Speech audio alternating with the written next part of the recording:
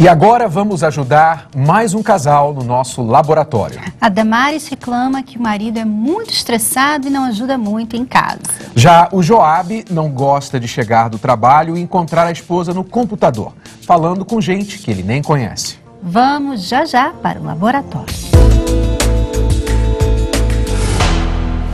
Eu tenho trabalhado demais e também com o trabalho teve nosso filho que acabou de tem um ano e sete meses agora. Além do seu cansaço, do seu estresse, que você chegava estressado e em vez de você deixar os problemas do seu trabalho lá fora, você chegava descontando em mim. E aí não, não tinha como eu te dar carinho, sendo que eu não estava recebendo carinho. Às vezes também eu chegava em casa, queria que você preparasse minha refeição, cuidasse de mim. Aí às vezes você ia pro computador, tinha a novela e não, não, não, não ligava para mim. Eu faço alguma coisa para agradar você e nunca é reconhecido. Mas às vezes também quando eu reconheço o que você faz, às vezes você não dá tanta importância. Às vezes eu faço alguma coisinha para te chamar a atenção e você nem percebe. Não é que eu não perceba, é que você só quer fazer isso quando você chuta o pau da barraca.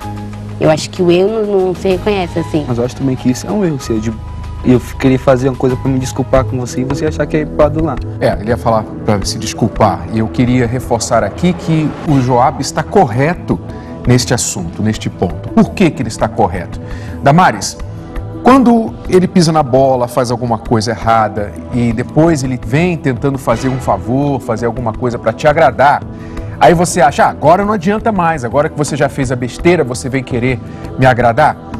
É importante essa tentativa do parceiro de tentar reconciliar-se com o outro depois de uma situação difícil. É importante e o outro não deve rejeitar, porque ele vai simplesmente estender aquele clima ruim. Uma outra coisa também que o Joab falou, que quando ele chega em casa, ela está chateada e ela reclamou que ele fica é, todo estressado com ela. Na verdade, a realidade é que quando a pessoa trabalha fora, ela vem depois do trabalho para casa, ela está estressada. Isso é normal. Então, quando você tem uma parceira ao seu lado, ela entende isso e ela então ela procura ajudar, minimizar, né? minimizar né? o estresse. Isso tem que ser prestado atenção, especialmente no momento que a pessoa chega em casa do trabalho. Quando a gente chega em casa, a gente está procurando o quê? O descanso, o alívio, né, a descontração. E o pior que pode acontecer é você chegar e o seu parceiro está ali, já pronto para te metralhar com todas as reclamações que veio pensando, acumulando o dia todo no caminho do trabalho para casa. Você não deve fazer isso, nem a Damares, nem o Joab. Vocês têm que entender o seguinte: quanto tempo leva para minha esposa, ao chegar do trabalho, para se aclimatar, para para relaxar e dizer, cheguei em casa. Quanto tempo? Às vezes demora 15 minutos, às vezes demora meia hora, uma hora, ou um pouquinho mais, depois só do banho, depois da janta, depois que as crianças estão na cama. Às vezes demora mais um tempo. E você tem que notar esse tempo que o seu parceiro precisa para poder relaxar. E aí sim, se você quer trazer algum assunto mais difícil de conversar, aí aquele é o momento de você falar. E não logo que a pessoa chega estressada, tá bom? Vamos continuar assistindo a conversa para ver Quais outros erros que eles estão cometendo? Também que seja, mas é para me desculpar, é para te agradar.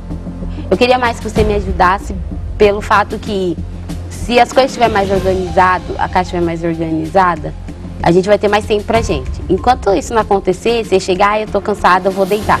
Porque você fala, fala, fala que eu fico no computador, mas quando eu levanto da cama para fazer comida, para fazer alguma coisa, você já gruda também no computador também. Eu acho que você tem ciúmes de eu, de eu ter tanto, tantos amigos pela internet, de eu conversar com as pessoas. Não, não tenho ciúme de você ter tantos amigos. Tem, tem um, eu não gosto que você conheça as pessoas que eu não conheço e você não querer me falar. Você não fala assim, amor, quem é essa pessoa? Quem que é essa pessoa? Com quem você está falando? Você fala com esse tom, com essa ironia. E eu não gosto disso. Bom, vamos falar sobre essa questão aí do, do, do Facebook, né? Porque é, a questão que, veja só, não sei se você percebeu, Cristiane, é, ele trouxe o assunto do Facebook para ela, de que ela tem amizades com pessoas que ele não conhece. Até antes, ele falou que quando chega em casa, ela está no computador, normalmente. Exato, tem essa questão, né? Que os dois, que causa estresse nos dois. Só que ela, ao invés de se dirigir à reclamação dele, ela logo mudou o foco para o jeito de como ele fala com ela. Quer dizer, ela não respondeu à reclamação, não falou do assunto e ainda jogou um outro problema para cima dele. Damares e Joabe, quando a gente se comunica no casamento, a gente tem que parar para ouvir o que o outro está falando. Então, se ele fala dos seus amigos que ele não conhece, que você tem contato no Facebook, trate desse assunto. Não mude o foco da maneira que ele fala com você. Isso também é um problema, mas você tem que tratar desse problema outro momento, separado. Depois que você resolver o assunto do Facebook, Aí você fala, agora amor, que a gente já combinou nessa questão do Facebook, posso falar com você sobre essa maneira que você fala comigo? Eu gostaria que você falasse de uma maneira mais gentil comigo, que você vai ter melhor resultado. Aí sim é momento de tratar do outro assunto, mas não embolar. Já jogou um problema no, no, na, na frente, aí vem coloca outro problema em cima, sabe o que vai acontecer? Vocês não vão resolver nenhum. E a questão não é ciúme dele, Damaris, eu não acho que é ciúmes dele. Por exemplo, se você chegasse em casa depois do trabalho e o seu marido estivesse lá conversando com gente no Facebook, assistindo novela, vendo coisa e dando mais atenção a tudo menos a ele, ou a você, você também não ia gostar. Então o que acontece? Ele não sabe lidar com esse problema, ele começa a realmente ter uma implicância com essas pessoas que tiram o tempo da esposa dele. Além de tirar o tempo, são pessoas que ele não conhece. Então, qual a sua razão para isso? São pessoas do seu trabalho, é uma necessidade para o trabalho que você tem esse contato, é uma coisa mais de diversão, algo que está trazendo insegurança, desconfiança, ciúme para o Joab? Então você tem que negociar com ele. Talvez você tenha que abrir mão dessas amizades porque elas não são necessárias para a sua vida. Se você quer ter amigos, o ideal é que os amigos do casal sejam em comum ao casal. Ou seja, eu não tenho amigos ou amigas que a Cristiane não conheça e vice-versa. Para vocês evitarem essas questões, questões de desconfiança, ciúmes, vocês têm que ter amigos em comum. E amigos que prejudicam, fazem mal ao casal, eles devem ser removidos do círculo de amizade de vocês. Eu te conheci de um jeito, te conheci uma pessoa carinhosa que, que não me machucava. Hoje em dia não, hoje em dia você fala o que, que você quer falar. Você só vê também só os meus defeitos, você não tem parado de prestar atenção nas minhas qualidades. O que você me deixa mais chateado é quando eu peço para você fazer alguma coisa para mim e eu chego em casa no dia seguinte você, você não, não, não fez o que eu pedi para você fazer. Eu tava pedindo para você todo dia limpar meu tênis. Aí você não limpou. Aí eu tive que acabar limpando. Eu lavo, eu passo, eu cozinho, eu cuido de filho, cuido de marido e tenho que te dar carinho no final. E você não pode lavar seu tênis? Não, você podia limpar eu, Você viu tanto de roupa que eu lavei na mão porque a máquina quebrou? Então você tem que parar e pensar se isso é, é manha sua, Mas... se você quer chamar atenção ou se é uma coisa que tem necessidade. Porque Mas quantas vezes você falou para mim fazer, ah, amor, tô com vontade de comer uma coisa diferente, eu peguei e eu fui fazer para te agradar. Eu tento te ajudar de vez em quando. Às vezes eu lavo uma louça, às vezes eu faço uma comida, às vezes eu levo para você um café da manhã na cama. Eu admiro muito o seu jeito de, de querer me proteger, de querer proteger o neném, esse jeito de querer trabalhar para querer conquistar tudo o mais rápido possível. Você sabe disso, que eu te amo. Eu sei. Eu tenho admirado você bastante pela sua garra que você tem, pela vontade que você tem de ir em frente, de lutar, de não abaixar a cabeça. Eu quero parar de, de jogar a culpa em você. Eu quero assumir a minha responsabilidade, tipo, de nosso tempo, de eu ter mais tempo para você. Não estou disposta a abrir um mão de um tempo, alguma coisa, para ter um tempo para você, para me te dar mais carinho. Então, vamos aqui ver essa parte final, o que, que vocês podem aprender, Joab e Damares. Damares, você lembra quando você falou do jeito que o Joab fala com você quando você está no Facebook? Você falou que o jeito de falar pode mudar toda uma frase. Aí veja o que aconteceu com respeito ao tênis. Né? Ele deixou o tênis lá para ela lavar, pediu que ela lavasse e tal, passou o tempo, ela não lavou, ele acabou lavando. Aí ela diz: Mas você não viu? Tudo que eu faço aqui em casa, você poderia pelo menos lavar o tênis? Tá bom.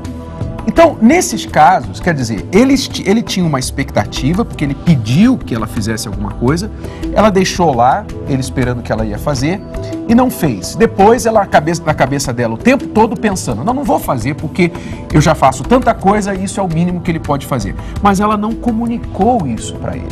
E quando comunicou, fez como fez aqui agora ó, eu faço isso, isso, isso, isso, pelo menos você poderia lavar o tênis. Quer dizer, olha o jeito que ela fala também com ele, né? E outra coisa, às vezes o problema não é o tênis que você não limpou para ele.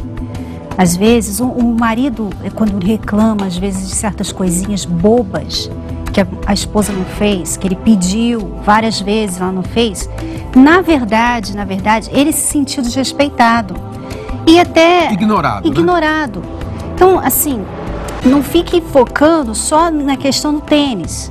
Às vezes o que ele quer, na verdade, é saber que ela apreciou. Poxa, eu, eu aprecio tanto que você trabalha, tanto para a nossa família. Eu estou aqui em casa o dia todo em casa com meu filho. Ele está lá fora trabalhando. Eu posso limpar esse tênis para ele. Quando ele chegar em casa hoje à noite, ele vai ter um, um tênis limpo para ele usar mais amanhã.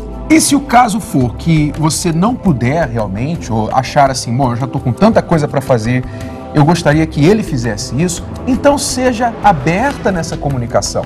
Fale com ele, olha, Joab, você sabe que eu sempre limpo os seus tênis, mas dessa vez eu tô com tanto, olha a pilha de roupa que eu tenho para passar, não dava para você fazer dessa vez. Fale desse jeito, faça um pedido, explique-se. Eu tenho certeza, como ele já falou, que ele às vezes lava roupa, às vezes ele faz a comida. Ele não é o tipo do marido que fica com as pernas pro ar em casa. Com certeza isso não será uma questão, mas é necessário que você comunique isso para ele, tá bom? E do jeito certo. Então a apreciação está faltando muito nesse casamento. Nos né? dois, né? Porque tanto ele também que não, ele não aprecia também o trabalho que ela tem em casa. Tudo que ela faz em casa. Então, ele precisa também investir mais nisso, elogiar mais, uhum. até mesmo notar certas coisas que ela fez por você. Né? Ela fez uma comida diferente naquele dia, ou ela fez uma coisa que você não esperava, você notar isso faz é muito importante para ela, porque ela vai fazer mais. Né? E a mesma coisa ela fazer com ele. Ele gosta, eu percebi que ele gostou muito quando você falou das qualidades dele. Faça mais disso, Damares, tá bom? Vamos aproveitar e dar uma sugestão para o Joab e para Damares. Gastem pelo menos um minuto por dia para blindar o casamento de vocês. Criem um hábito e façam isso todos os dias. Acompanhe, por exemplo, esse minuto do casamento que nós separamos só para vocês. Que a comunicação é tudo no casamento, você já sabia. Mas como se comunicar bem com seu parceiro sem criar problemas não é tão óbvio assim. O que falar e como falar são pontos muito importantes. Mas não adianta saber o que quer dizer, nem falar com aquele jeitinho, se você não souber quando falar. A hora de falar e hora de calar. Nem sempre quando você está louca para conversar é o momento que o seu parceiro está pronto para ouvir. Como quando ele está assistindo o futebol dele, por exemplo. Ou quando ela está estressada ou naqueles dias. E quando você está nervoso, também não é a melhor hora de falar tudo que vem à sua cabeça. Deixar o nervoso passar, saber esperar o um momento que seu parceiro está de bom humor e aberto a uma conversa, fazem parte de uma boa comunicação. Então lembre-se, a hora de falar e hora de calar.